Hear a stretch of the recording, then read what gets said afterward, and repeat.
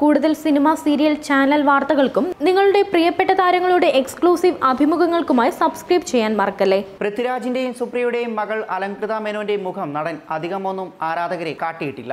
മകൾക്ക് പ്രൈവസി ലഭിക്കേണ്ടതിനാൽ തന്നെ ചിത്രങ്ങൾ താരം പുറത്തുവിട്ടിട്ടുമില്ല. എന്നാൽ വിശേഷങ്ങളെല്ലാം നടൻ സോഷ്യൽ മീഡിയയിൽ പങ്കുവെക്കാറുണ്ടോ. ഇപ്പോൾ അല്ലിമോളുടെ ഹോളിഡേ വിശേഷമാണ് ചിത്രം സഹിതം സുപ്രിയ ഇൻസ്റ്റഗ്രാമിലൂടെ ഷെയർ ചെയ്തിരിക്കുന്നത്. ഇപ്പോൾ നാലര വയസ്സാണ് പൃഥ്വിരാജിന്റെ മകൾ അല്ലിക്ക് പ്രായം. എങ്കിലും താരപുത്രിയുടെ അധികം ചിത്രങ്ങൾ ദമ്പതികൾ പുറത്തുവിട്ടിട്ടില്ല. ഇപ്പോൾ അല്ലിക്കൊപ്പം അവധിയാഘോഷത്തിലാണ് പൃഥ്വിയും സുപ്രിയയും.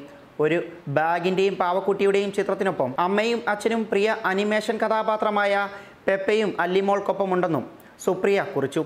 മൂന്ന് പേരുടെയും ഷൂ കാലുകളുടെ ചിത്രം ഫാമിലി എന്ന തലക്കെട്ടോടെ പൃഥ്വിരാജും ട്വീറ്റ് ചെയ്തു.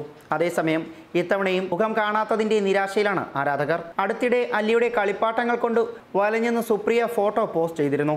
നേരത്തെ അല്ലിക്ക് പൃഥ്വിരാജിന്റെ ദേഷ്യമുണ്ടെന്നും മകളെ ലാളിച്ച് വഷളാക്കുന്നത് അച്ഛനാണെന്ന് തന്നെ പറ്റി സുപ്രിയയുടെ അഭിപ്രായമെന്നും പൃഥ്വിരാജ് പറഞ്ഞിരുന്നു. Entertainment life